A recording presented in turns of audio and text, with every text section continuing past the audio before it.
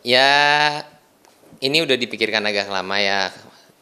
Sebenarnya emang udah dari Juni belum operasi kita udah mikirin saya udah diskusi sama istri juga dan ya akhirnya disuruh operasi dulu dan mencoba main kembali dan setelah ditimbang-timbang kayaknya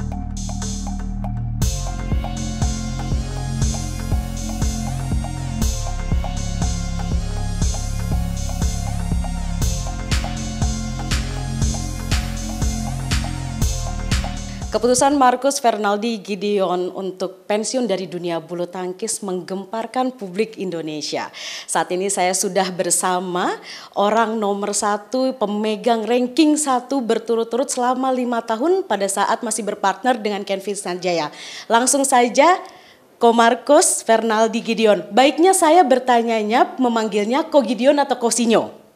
Serah aja, Kosinyo juga nggak apa-apa. Kosinyo, oke, senyamannya berarti ya kok. Oke, Kosinyo langsung saja mungkin bisa dijelaskan secara singkat bagaimana kok prosesnya sampai pada akhirnya Koko memutuskan untuk pensiun dari dunia tepok bulu dan apakah sudah uh, laporan juga dengan PBSI agar publik Indonesia juga tahu. Langsung saja kok.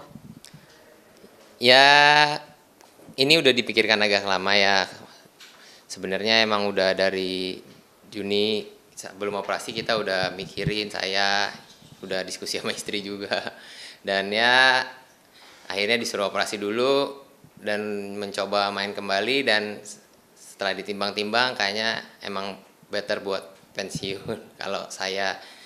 Dan untuk izin ke PBSI saya sebenarnya udah sering diskusi dengan Pak Fadil dan terakhir kan kemarin saya ikut beliau ke Makassar di sana saya juga udah ngomong pak saya mau pamit. Dan beliau juga udah oke. Okay. pas itu dia bilang nanti ikut kalau bisa bintu bantu-bantu di PBSI siap aja pak. Nanti berkabar lagi saya bilang gitu.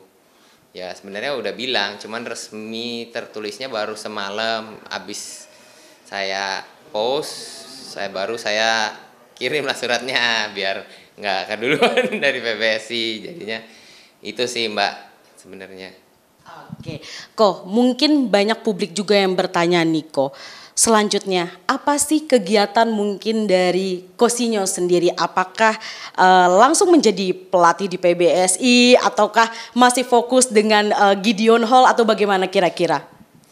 Ya, sementara sih masih mau ke family dulu dan fokus ke Gideon Badminton Academy saya juga senang ngelatih anak-anak kecil ya liatin kayak anak baru mau mencapai mimpi mereka tuh kayak senang banget. Optimisnya dengan auranya bagus gitu kelihatannya Jadi masih fokus dulu ya untuk uh, badminton uh, Gideon Academy ini sendiri. Kok mungkin publik juga masih bertanya-tanya nih kok. Sebenarnya apa sih sekarang bukan uh, Gideon versus PBSI lagi tapi Gideon versus Kevin. Apakah itu benar? Apakah ibaratnya ada komunikasi atau tidak sih sebenarnya sih kok sebenarnya antara Koko dan juga Kevin sendiri? saya sama Kevin baik-baik aja. Jangan dipikir kita berantem enggak lah. Dari dulu emang main kita emang enggak bareng-bareng terus. Emang pemain ganda tuh biasanya juga gitu di luar-luar negeri dan pemain-pemain dulu juga ada yang seperti itu nggak jalannya nggak bareng-bareng. Tapi itu bukan berarti kita berantem dan saya juga udah terakhir kan udah ngobrol juga dan kemungkinan saya bakal pensiun udah ngomong juga. Jadi semuanya baik-baik aja nggak ada yang versus mana-mana sih benernya. Berarti intinya sudah ada komunikasi juga didukung juga oleh Kevin ya kok ya, ya pasti kan semua su mendukung apa keputusan pribadi kan. Soalnya kan ini kan masalah pribadi sendiri benernya. Jadi nggak ada yang sebenarnya bisa maksain apa gimana gitu kan. Oke.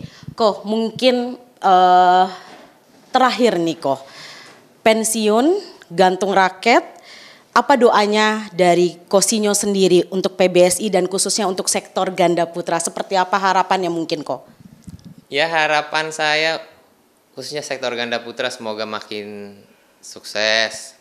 Kalau bisa kembali ke kejayaannya dulu soalnya sekarang kan kelihatannya ya di bulu tangkis Indonesia prestasinya kurang terlalu baik ya semua orang juga tahu. Dan itu juga pertimbangan saya kenapa saya pensiun aja. Dan saya pikir kuota saya daripada saya nggak dipakai saya di pelatnas juga nggak jelas mau pater main atau enggak mending kuota saya di sana dipakai sama atlet-atlet muda kan biar ada regenerasi baru biar ada banyak stok lah buat next level di dunianya jadinya lebih bisa bersaing gitu ke depannya. Oke, baik. Kosinyo, terima kasih. Sukses selalu atas prestasinya juga semuanya pokoknya thank you very much untuk Indonesia semoga sukses bahagia juga bersama keluarga ya kok ya Oke, saudara dan juga sport lovers, mari kita doakan uh, agar Kosinyo tentunya sukses selalu. Siapa tahu bisa kembali ke Indonesia lagi menjadi pelatih di pelatnas yang mungkin masih Kosinyo juga pikirkan. Dan tentunya semoga setelah ini PBSI semakin meroket prestasinya khususnya di sektor ganda putra. Rinin Taniken Vimala, Kompas TV, Kabupaten Bogor, Jawa Barat. Saya Valentina Sitorus.